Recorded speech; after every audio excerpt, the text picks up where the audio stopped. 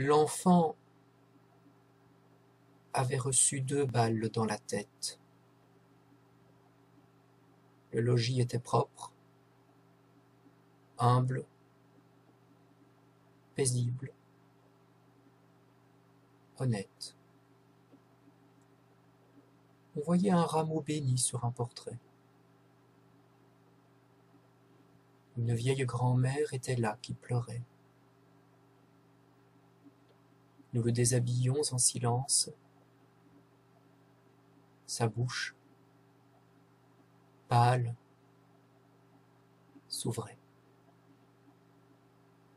La mort noyait son œil farouche. Ses bras pendants semblaient demander des appuis. Il avait dans sa poche une toupie en buis. On pouvait mettre un doigt dans les trous de ses plaies. Avez-vous vu saigner la mûre dans les haies? Son crâne était ouvert comme un bois qui se fend. L'aïeul regarda déshabiller l'enfant, disant Comme il est blanc Approchez donc la lampe Dieu Ses pauvres cheveux sont collés sur sa tempe. Et quand ce fut fini, le prit sur ses genoux. La nuit était lugubre. On entendait des coups de fusil dans la rue, où l'on en tuait d'autres. Il faut ensevelir l'enfant, dirent les nôtres. Et l'on prit un drap blanc dans l'armoire en noyer. L'aïeul cependant l'approchait du foyer, comme pour réchauffer ses membres déjà roides.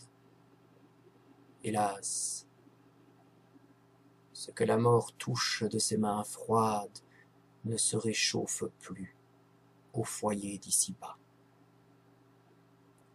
Elle pencha la tête et lui tira ses bas, et dans ses vieilles mains prit les pieds du cadavre. Est-ce que ce n'est pas une chose qui navre? cria-t-elle. Monsieur, il n'avait pas huit ans. Ses maîtres, il allait en classe, était content. Monsieur, quand il fallait que je fisse une lettre, c'est lui qui l'écrivait. Est-ce qu'on va se mettre à tuer les enfants maintenant? Ah mon Dieu, on est dans des brigands Je vous demande un peu, il jouait ce matin, là, devant la fenêtre. Dire qu'ils m'ont tué ce pauvre petit être. Il passait dans la rue, ils ont tiré dessus.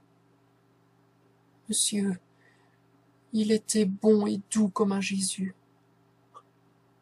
Moi, je suis vieille. Il est tout simple que je parte. Cela n'aurait rien fait à monsieur Bonaparte de me tuer au lieu de tuer mon enfant. Elle s'interrompit, les sanglots l'étouffant.